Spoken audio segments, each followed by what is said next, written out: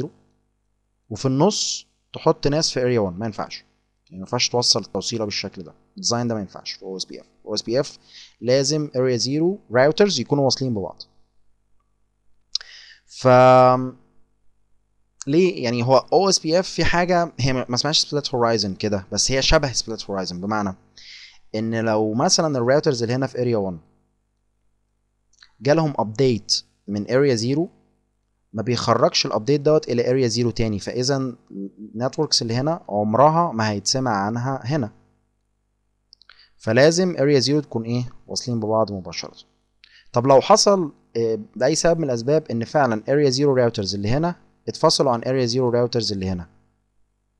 واللي في النص area 1 routers بنعمل حاجة اسمها virtual link ال virtual link دي بتكون عبارة عن أكن في connection physical واصل ما بين الاثنين آه يعني routers اللي هو الراوتر اللي هنا والراوتر اللي هنا. علشان خاطر يبقى أكن area 0 واصلة ببعض. تمام. ده ممكن يعني نعمله virtual link ده حل. وفي حل تاني إن إحنا نعمل tunnels نعمل tunnel من أول هنا لغاية هنا. بس إحنا هنتكلم بما ان إحنا بنتكلم عن OSPF فهنجيب حل بتاع OSPF اللي هو الحل بتاع ال tunnels لو جيت برضو عشان خاطر اديكوا فكرة أكتر عن الموضوع دوت على ال design ده السؤال هل ينفع نيجي حاطين راوتر هنا والراوتر ده نوصله ب area؟ area مثلا أربعة. يعني هل area أربعة ينفع توصل ب area 2 ما ينفعش. لازم area 4 توصل بايه ب area 0 فبرضو المشكلة ديت ممكن نحلها عن طريق إيه؟ إن إحنا نعمل virtual link من أول راوتر ده وليكن اسمه راوتر 5 نعمل virtual link من أول هنا لغاية الراوتر اللي واصل ب area 0 ده وليكن اسمه راوتر 3 تمام؟ في الحالة ديت طالما عملنا virtual link هنا دي virtual link أكن كده area 4 وال routers اللي جواها ال border بتاعهم واصل ب area 0 عن طريق ال virtual link ديت. ده ممكن يحصل في الحياة العملية إمتى؟ والله هديكم مثالين. ممكن يحصل لو في شركتين اندمجوا وال links اللي كنا حاطينها ما بينهم كانت في areas مش backbone area دي حاجة. حاجة كمان إن لو حصل ممكن في ال design ده كده. تعالوا نتخيل هنا المفروض area zero زي ما اتفقنا يكون كل ال routers اللي فيها واصلين ببعض مباشرة. إحنا هنا ما بين راوتر 2 وراوتر 3 عندنا link واحدة بس. لو ال link دي وقعت. راوتر 2 وراوتر 3 عشان يوصلوا لبعض مفيش حل غير إن هم يوصلوا عن طريق راوتر 1 وراوتر 1 موجود في area 1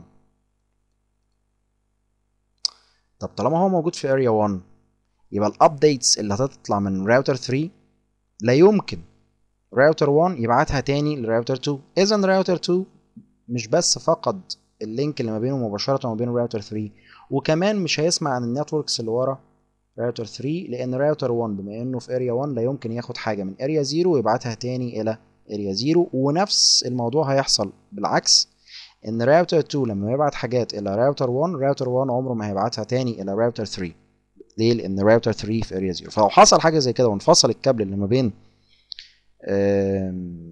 راوتر 2 وراوتر 3 ده هيؤدي إلى إن ال networks اللي ورا راوتر 3 وراوتر 2 مش هيعرفوا يوصلوا لبعض بسبب ال design بتاع OSPF. ده فعلا في الحياة العملية. فإزاي نعمل virtual links بقى؟ عشان نعمل virtual links هنعمل الاتي إن إحنا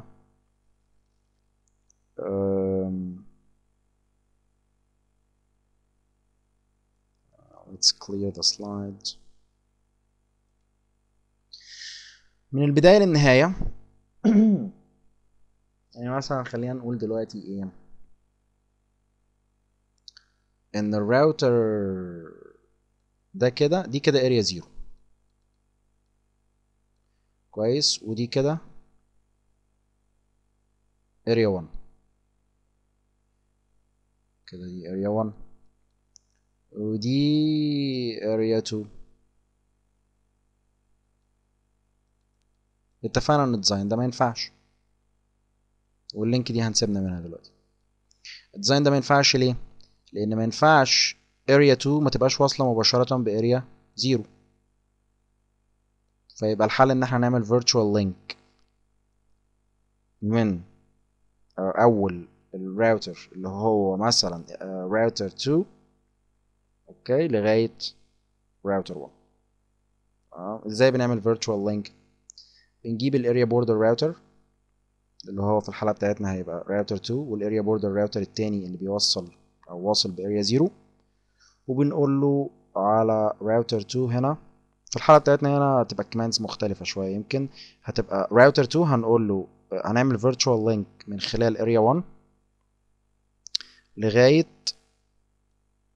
راوتر 192 168 واحد واحد. ده طبعا إيه بقى. ده ال router ID شفتوا بقى أنا أصلا يعني بحكي القصة دي كلها دلوقتي عشان خاطر أقول لك ده مش ما ينفعش تستخدم IP address بتاع الراوتر أنت بتستخدم ال router ID وديت ال configuration اللي بتبقى مبنية على ال router ID عشان كده في حاجة فعلا إن إحنا نعمل advertising لل router ID يبقى ال router ID لو مش ad... يعني لو م... لم يتم الإعلان عنه في الحالة ديت ال virtual link مش هتشتغل. طب ال router ID المرة دي كان كذا ولما عملنا restart لل router اتغير. يبقى كده إحنا بوظنا برضو ال virtual link configuration يحصل فيها مشكلة. يبقى اذا ال virtual link بتتبني على ال router ID configuration. تمام. لو عايزين نسرع شوية ال convergence في بعض الأحيان أنتوا عارفين لما يكون عندنا اتنين routers واصلين ببعض مثلا ب serial cable كده مباشرة أو crossover بمجرد ما ال interface ده بيقع راوتر 1 بيعرف إن ال interface وقع فبيعرف إن كل ال neighbors الموجودين على الناحية التانية من ال interface دوت خلاص مش موجودين دلوقتي. فكل المعلومات اللي كان عارفها منهم بيشيلها عنده من ال database ومن ال routing table بتاعه وبيبدأ يدور على طرق تانية عشان يوصل لل networks دي. لكن إحنا لو عندنا راوتر 1 واصل براوتر 2 وفي النص فيه مثلا Ethernet switch في كابل كده وكابل كده السؤال بقى لو ال link اللي ما بين راوتر 2 وال switch اللي هنا ديت وقعت هل راوتر 1 هيحس؟ لا مش هيحس ليه؟ لأن هو واصل بال switch وطول ما بيجيله keepalives من ال switch ما عندوش مشكلة يبقى ال link قايمة فمع إن راوتر 2 وقع وكل الطرق اللي كان راوتر 1 بيروح لراوتر 2 يعني عليها مثلا أو ال networks اللي كان راوتر 1 بيروح لها عن طريق راوتر 2 مش هيقدر دلوقتي لأن راوتر 2 ال link اللي ما بينه وما بين ال switch وقعت وراوتر 2 ما عرفش. أنا آسف راوتر 1 ما عرفش. ف يبقى الأفضل إن إحنا نسرع شوية ال convergence يعني بدل ما يبقى راوتر 1 بيبعت hello كل 10 ثواني وبيستنى 40 ثانية اللي هو ال dead timer عشان خاطر يعتبر ال neighbor اللي قدامه وقع. يبقى في الحالة ديت نقلل شوية يعني بدل ما تبقى عشرة نخليها بيبعت hello كل ثانيتين وبدل ما بيعتبروا dead بعد أربعين ثانية يعتبروا dead في وقت أقل فده يؤدي إلى إن ال convergence يكون أسرع وأسرع. مثلا نخليه تمانية مثلا. تمام؟ يبقى بيبعت hello كل ثانيتين ولو ما جالوش hello من ال neighbor بتاعه في ظرف 8 ثواني هيعتبره dead أه بس طبعا زي ما اتفقنا إن إحنا هنغير هنا يبقى نغير هنا. وإلا طبعا ال neighborship إيه هتقع. في حاجة كمان هي إن إن إحنا ممكن نخلي الكلام دوت sub second sub second بمعنى أقصد إن راوتر 1 لو راوتر 2 وقع في أقل من ثانية يكون عارف. في أقل من ثانية. آه عن طريق إن إحنا بنقول له كمان the IP OSPF dead interval minimal. hello multiplier ابعت 3 hello في الثانية الواحده ابعت 3 hello في الثانية الواحده ففي أقل من ثانية تمام بيكون عارف إن ال neighbor اللي قدامه وقع وده طبعا بيؤدي إلى إن ال convergence يكون أسرع وأسرع كمان. إزاي آه نظبط الموضوع دوت على ال routers بتاعتنا؟ عايزكم تلاحظوا حاجة إن أنا لو غيرت ال hello وال dead interval أنا هنا كنت بستعرض fast ethernet 0 slash 0 من حيث OSPF كنا لقينا إن ال hello 10 وده by default أقل hello ده في كمان أعلى من كده على ال serial interfaces يعني إحنا لو استعرضنا ال serial interface تقريبا هو ال serial 0 slash 1 آه ده عشان خاطر point to point لكن لو على frame relay ولا حاجة هنلاقي الموضوع أبعد وأبعد. لو على frame relay links هنلاقيها ال frame relay بيبقى 30 فلأن يعني OSPF عنده حاجة اسمها network types يعني إحنا كنا قلنا في point to point وقلنا في broadcast وفي loopback هنتكلم عن القصة ديت وإيه الفروق ما بينهم. بس أنا عايز دلوقتي أوريكم إن إحنا لو غيرنا ال hello timer هتلاقوا ال neighborship وقعت فهنضطر إن إحنا نغيرها على الراوتر اللي قدامه الناحية التانية ونشوف برضو ال sub second convergence ده ممكن يكون عامل إزاي. لو رجعنا لل design بتاعنا إحنا عندنا راوتر 2 على fast ethernet 0 slash 0 واصل على fast ethernet 0 slash 0 في راوتر 1 فهروح على interface fast ethernet 0 slash 0 وهقول له IP OSPF hello interval هو by default 10 ممكن نخليه 2 و IP OSPF dead interval هنخليه 8 المفروض ده يؤدي إلى إن ال neighborship اللي ما بين الاتنين routers تقع لأن أنا غيرت ال hello timers hello dead interval يعني.